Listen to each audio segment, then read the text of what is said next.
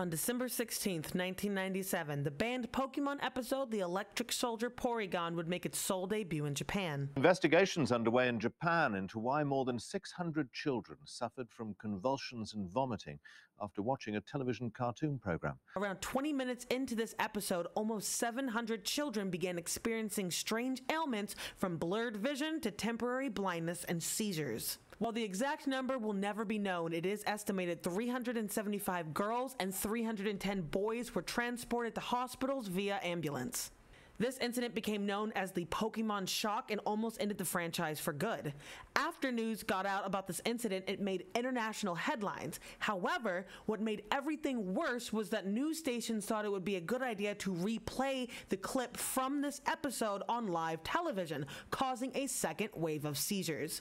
It's a tragedy that was preventable, but that's why we now have regulations on things such as photosensitivity warnings. That's going to be it. Let me know your thoughts in the comment section down below. Don't forget to subscribe, like the video, and as always, we'll see you in the next one.